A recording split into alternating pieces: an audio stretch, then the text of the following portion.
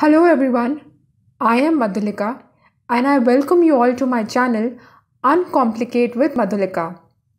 In the last video, we had learned how to create our Moodle website. In this video, we will learn how to change the name of the Moodle site. So without any further ado, let's get started.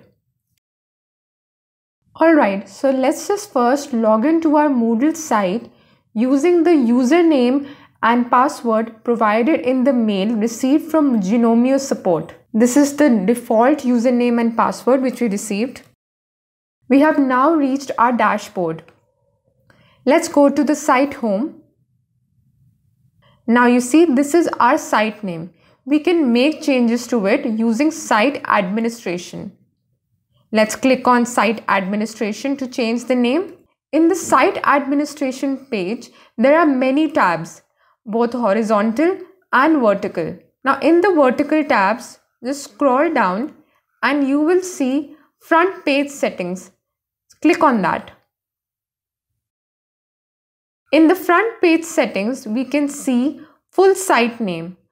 Currently, it is uncomplicated with madhulika.gnomio.com. We can change this. Let me change this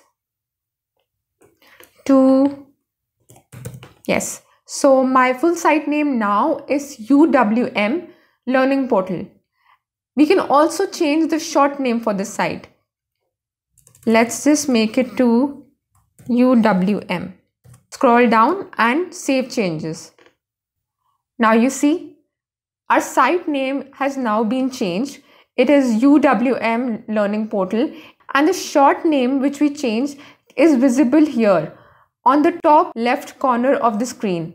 We can even check this by changing our role to a student. If we check that as a student too, these changes are visible to us. So when students log on to our portal, the site name visible to them will be this one, the one we have changed. And the short name is here, which is visible on the left side of the screen. So congratulations, the site name has been changed. Thank you so much for watching the video and if you've liked it then please like the video and subscribe to the channel and if you have any questions, comments, suggestions or feedback please write to me in the comment section below.